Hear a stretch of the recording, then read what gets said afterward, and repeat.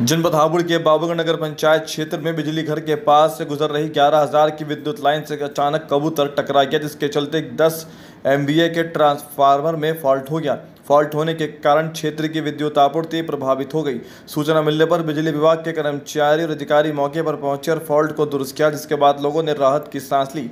मामला सोमवार का है, जब बाबूगढ़ में बिजली घर के पास से गुजर रही ग्यारह हज़ार की विद्युत लाइन से अचानक कबूतर टकरा गया, जिसकी वजह से बिजली घर के मुख्य ट्रांसफार्मर में फॉल्ट हो गया। इस दौरान एसडीओ देवेंद्र कुमार, एसडीओ हिमांशु जय लेखराज सिंह तुरंत मौके पर पहुँचे। संविदा कर्मी सुधीर कुमार, सचिन दुष्यंत, सुंदर, अनुज अनुज टू की मदद से फॉल्ट को दुरुस्त किया गया, जिसके बाद क्षेत्र की विद्युत आपूर्ति सुचारू हुई और लोगों ने इस भीषण गर्मी से राहत की सांस ली।